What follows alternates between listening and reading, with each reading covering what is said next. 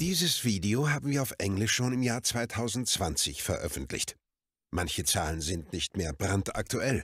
An der Problematik hat sich leider nicht viel geändert. Deshalb bleibt unsere Aussage die gleiche.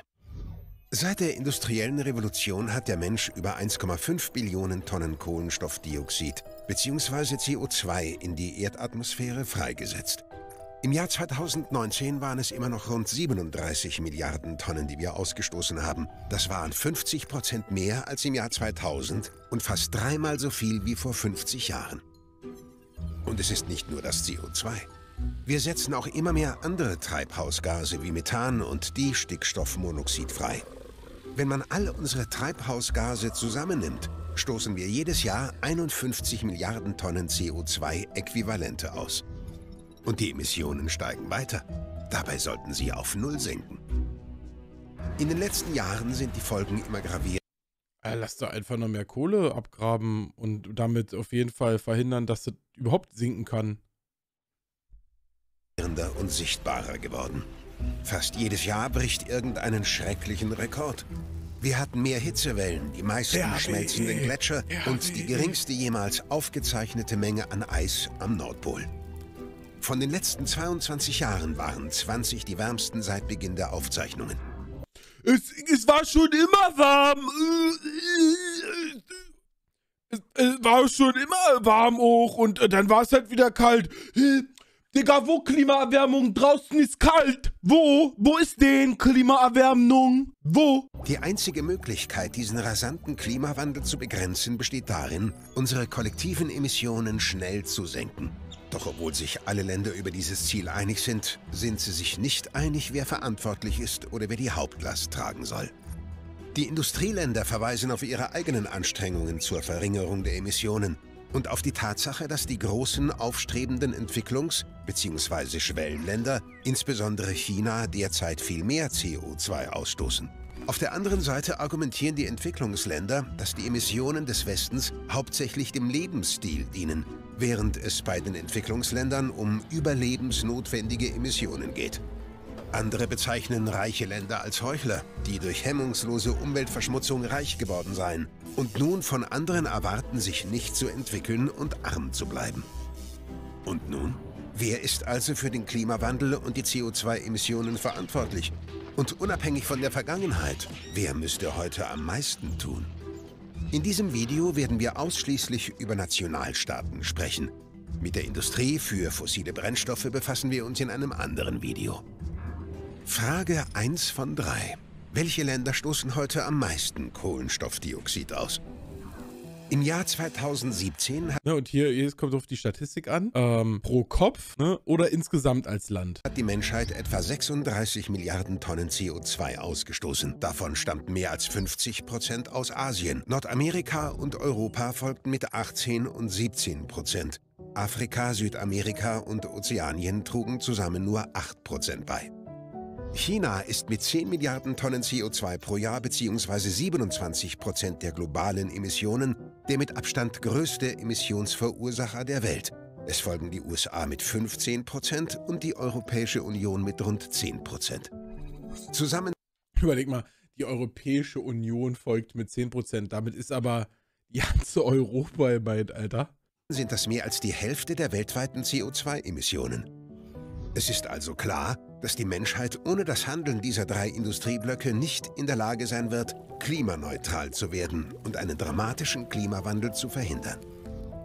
Es folgen Indien mit 7%, Russland mit 5%, Japan mit 3% und Iran, Saudi-Arabien, Südkorea und Kanada mit jeweils knapp 2%. Zusammen mit den Top 3 sind diese 10 für 75% der weltweiten Emissionen verantwortlich. Aber wenn wir nur die aktuelle Situation betrachten, sehen wir nicht das große Ganze. Frage 2 von 3. Welche Länder haben bisher am meisten CO2 ausgestoßen? Und da müsste Europa jetzt weit nach vorne äh, wandern. Ne? Und dann die Industrialisierung hat ja den Prozess ab da sehr stark angeschoben. Wenn wir die Emissionen im Laufe der Geschichte bis heute betrachten, ändert sich das Bild drastisch. Die USA und die EU verdrängen China von der Spitze. Die USA sind für 25 Prozent der historischen Emissionen der Welt verantwortlich. Sie emittierten 400 Milliarden Tonnen, hauptsächlich im 20. Jahrhundert. An zweiter Stelle steht die EU mit 22 Prozent. China liegt mit knapp 13 Prozent an dritter Stelle. Das entspricht etwa der Hälfte des Anteils der USA. Indiens Beitrag schrumpft auf 3 Prozent, ebenso wie der von ganz Afrika und Südamerika. Das Vereinigte Königreich ist für 1 Prozent der jährlichen globalen Emissionen verantwortlich, trägt aber 5 Prozent der historischen Verantwortung. Deutschland produziert aktuell 2% aller Emissionen pro Jahr, hat aber historisch fast 6% beigetragen. So viel wie ganz Afrika und Südamerika zusammen. Ja, da waren jetzt wirklich eine Weltkriege, was soll man machen, ne? Was soll man machen? Die Behauptung, dass die Entwicklungsländer für den raschen Klimawandel verantwortlich seien, ist also schwer zu verteidigen, wenn man Wert auf Fakten legt. Aber das ist immer noch nicht die ganze Geschichte. Denn wenn man sich auf Länder konzentriert, vermischt man zwei Dinge die Bevölkerungszahl genau. und die Gesamtemissionen. Wenn ein Land mehr Einwohner hat, sind seine Emissionen natürlich höher. Ganz anders sieht es aus, wenn wir einzelne Personen betrachten, wie dich hier vor dem Bildschirm. Frage 3 von 3. Welche Länder stoßen am meisten CO2 pro Kopf aus? Bei der Frage möchte ich äh, Wissen, was wir uns schon mal erworben haben, nochmal abrufen.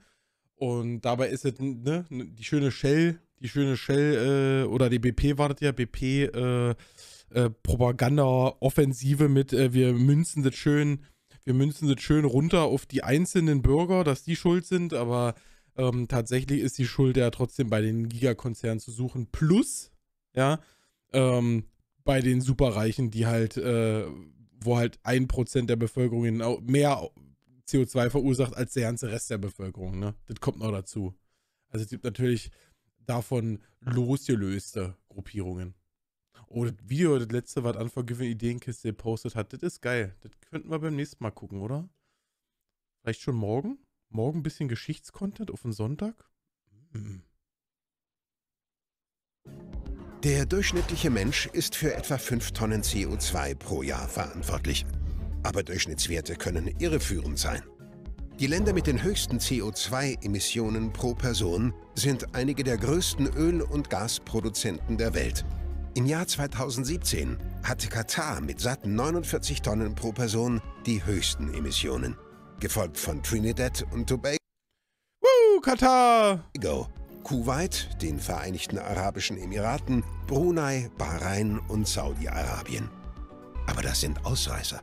Die Australier haben einen der höchsten CO2-Fußabdrücke pro Person, 17 Tonnen pro Jahr.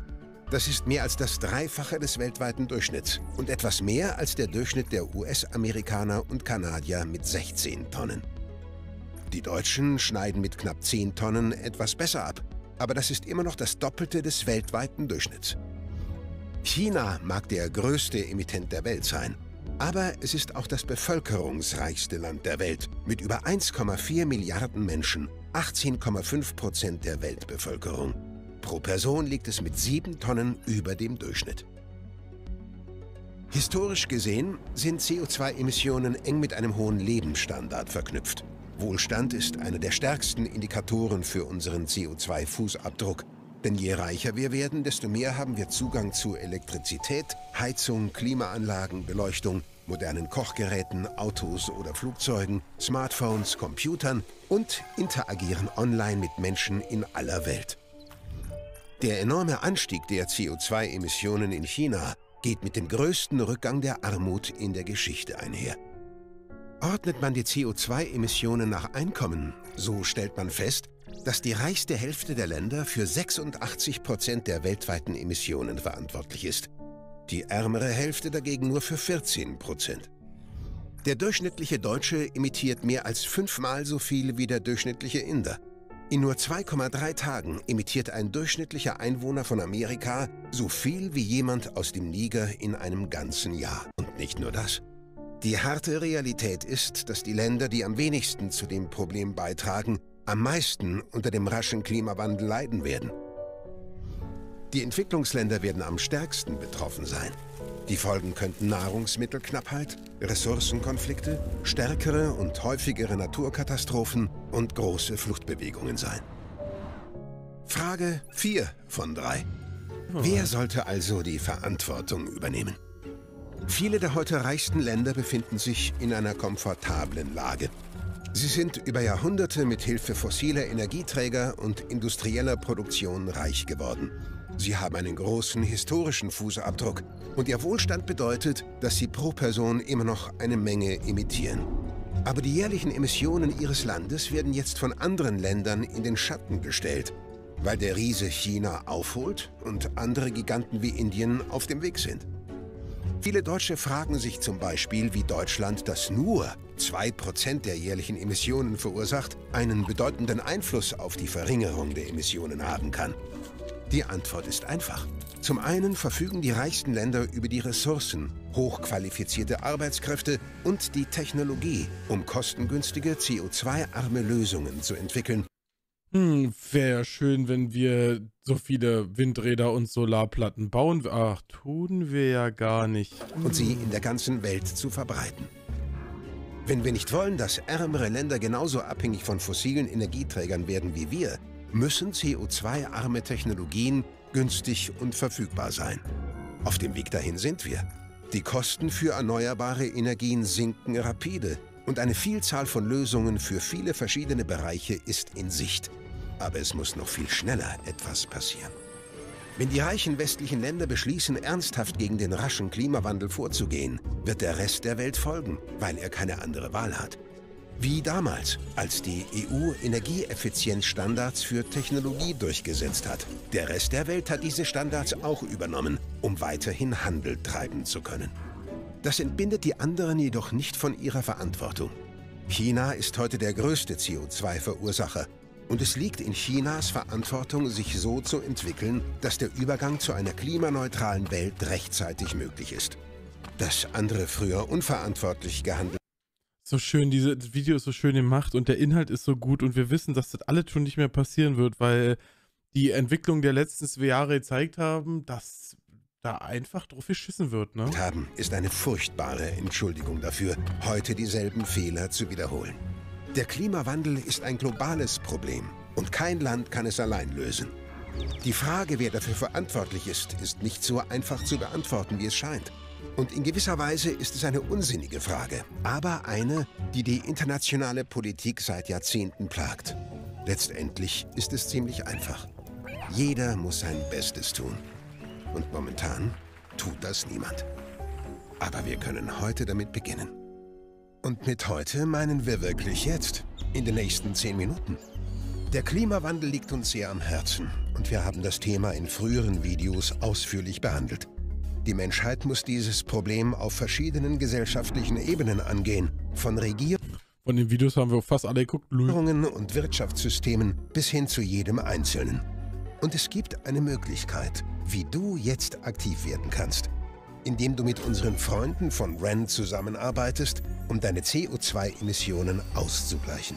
Ja, das, kommt nicht mehr gut, ne? Ich meine, das Video ist von 2018 oder so, haben sie gerade gesagt, oder 2020. Äh, das kommt nicht mehr so gut, seitdem man aufgedeckt hat, dass ähm, das einfach nur eine Verschleierungstaktik ist, ne?